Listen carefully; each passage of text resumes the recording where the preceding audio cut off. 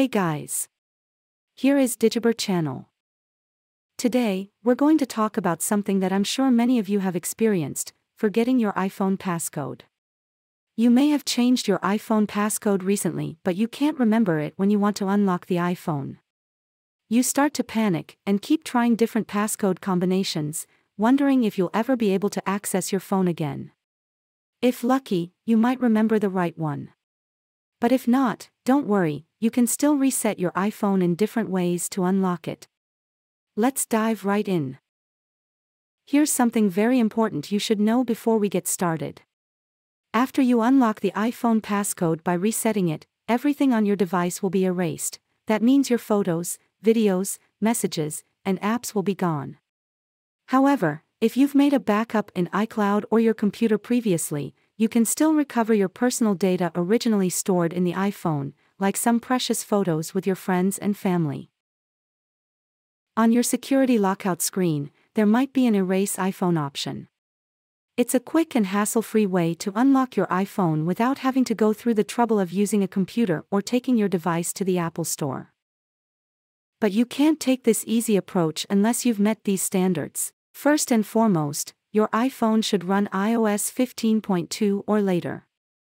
Secondly, it should be connected to a stable network. And last but not least, you should know about your Apple ID and password. If you can use this method to unlock the passcode you failed to remember, follow the steps here. Type in the wrong passcodes to your iPhone a couple of times. You'll get the security lockout screen with an Erase iPhone button on the bottom right. Tap this option. Now you reach a page where you need to confirm the reset of your iPhone. Select the same option to go on. Enter your Apple ID password to log out of your account. Then tap Erase and your iPhone will begin the reset by itself. After a little while, the forgotten passcode is removed and your iPhone will be unlocked then. Now you can decide to start it afresh or retrieve your data using your recent backup. When you forgot your iPhone passcode, you may fail to recall your Apple ID password as well. In this case, you are unable to use the Erase iPhone feature as a solution. Fortunately, you can try another way to fix the problem instead. Introducing iPhone Unlocker, a reliable and efficient tool that can help you remove your forgotten passcode in just a few clicks. What's great about iPhone Unlocker is how easy it is to use. You don't need to be a tech genius to figure it out. Plus, it works for removing all types of passcodes, whether it's your lock screen passcode, screen time passcode, or even your Apple ID password. For more details, you can go to this website. It's also put in the description below. Now let's go through the steps for unlocking a forgotten passcode by this program. To begin, download and install iPhone Unlocker on your computer.